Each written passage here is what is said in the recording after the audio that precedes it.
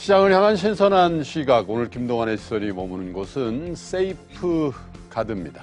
시청자 여러분, 투자자 여러분, 엄동설한입니다. 정말 춥습니다.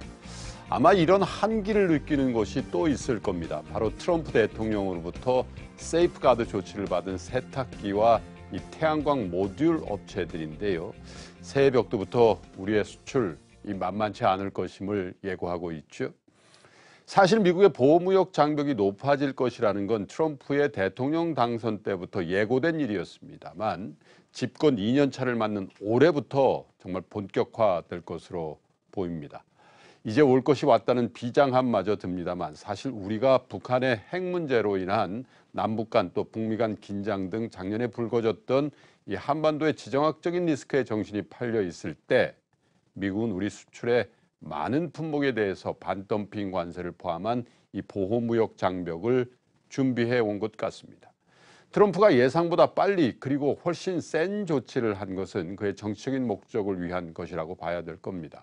올해 11월에 있을 중간 선거를 승리로 이끌지 못하면 안 그래도 낮은 지지율에 러시아 스캔들 등 이 정치적인 약점들로 인해서 조기에 레임덕이 올 수 있을 것입니다. 결국 트럼프가 승부를 볼 곳은 자신을 대통령을 만들어 줬던 이른바 러스트벨트의 백인 블루 칼라를 비롯한 핵심 지지층에 대한 결집입니다. 이번에 세이프가드에 서명하면서 말했듯이 그의 목적은 미국 사람에게 더 많은 일자리를 주자는 것입니다. 당장 이번 한국산 세탁기 세이프가드로 수혜를 입게 된 월풀은 오하이오 공장에 근무할 정규직 200명을 뽑겠다고 화답을 했고요. 우리 삼성은 노스캐롤라이나 공장을 이미 지었고 LG전자는 테네시에 지금 현재 공장을 짓고 있습니다. 미국 사람들 일자리를 실제로 늘려주고 있는 겁니다. 현재 트럼프 대통령의 지지율은 40% 선입니다. 30% 중반까지 떨어졌던 지지율이 소폭이지만 바닥을 찍고 반등을 했습니다. 여기에 트럼프 대통령의 경제 정책에 대해서 트럼프 대통령의 경제를 잘하고 있다는 응답자가 49%로 이거 잘못한다는 응답자 43%보다 비교적 높게 나옵니다. 특별히 공화당 지지자의 90%가량이 트럼프의 경제 정책을 지지하고 있습니다. 또 미국 사람 69%가 현재 미국의 경제 상태가 좋다고 답을 하고 있는데요. 이것은 2001년 2월 이후 가장 높은 수치고 매우 좋다는 답변도요 20%나 돼서 빌 클린턴 전 대통령의 임기 마지막 주였던 2001년 1월 이후에 이 최고치입니다. 17년 만에 최고치란 얘기입니다. 경제적으로 가장 성공적인 대통령이었던 빌 클린턴 시대 이후에 지금 미국 사람들은 자신의 경제적인 상황이 가장 좋아졌다라고 느끼고 있다는 얘기입니다. 트럼프는 미국 경제가 좋아지고 주가가 오른 게 자신의 공이라고 단언합니다. 학자들과 기자들은 턱도 없는 얘기라고 하지만요.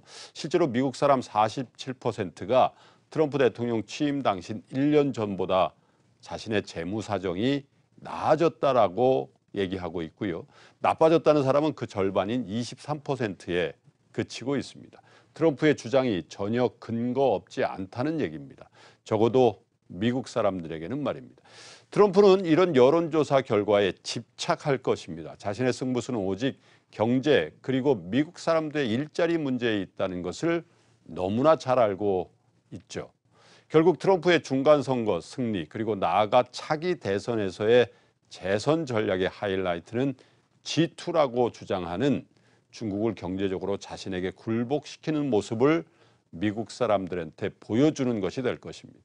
그가 닮고 싶어하는 레이건 대통령이 85년에 이 전방위적인 관세 부과와 이 플라자 합의를 통해서 당시에 적어도 경제적으로는 미국을 넘보고 있었던 일본을 완벽하게 제압을 하고 공화당 정권을 이어갔던 것처럼 트럼프는 중국을 굴복시키면서 자신의 이기를 도모할 것입니다.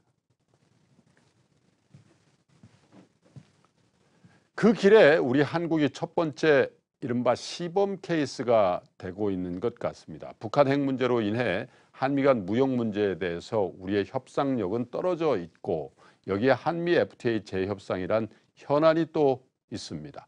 트럼프에게 한국은 가장 유리한 결과물을 만들 제일 쉬운 상대로 보이고요.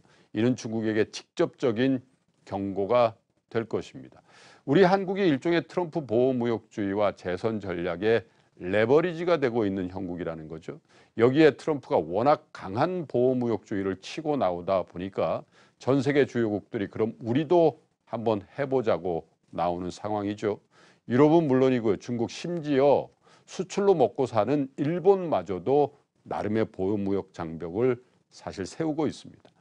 수출 중심의 우리 경제는 만만치 않은 한 해가 될 것입니다. 다행히 글로벌 경기 회복기라 물량의 증가세가 어느 정도 유지되겠지만 해당 산업의 고통이 우리 경제 전반으로 확산되는 시점이 의외로 빨리 당겨질 수도 있습니다. 우리의 투자도 이런 상황을 고려하셔야 될 겁니다. 작년에 삼성전자를 비롯한 이 수출 위주의 일방적인 강세장이 작년 말부터 다소 성격의 변화를 보이는 것도 이와 무관치 않아 보입니다. 올해는 수출주 중에서도 압도적인 경쟁력을 지닌 기업, 또 가급적 신흥국 비중이 높은 기업, 지역적으로 다변화된 기업으로 주식을 압축하실 필요가 있어 보입니다. 다만 트럼프의 보호무역주의는 당분간입니다만 감세 정책과 함께 미국 기업들의 실적을 견인할 것이며 미국 자산 가격의 상승 추세를 유지시키는 데도 기여할 것으로 보입니다. 우리 수출에 장애가 생긴다고 너무 빨리 투자를 줄이시거나 회수하실 필요는 없고 다만 선별적 투자의 노력을 더 해야 되는 구간에 들어와 있는 것 같습니다. 여전히 사실은 트럼프가 만들고 있는 버블 이코노미를 즐길 수 있는 그런 시기라고 보여집니다. 지금까지 김동완의 시선이었습니다. 잠시 후에 다시 뵙겠습니다.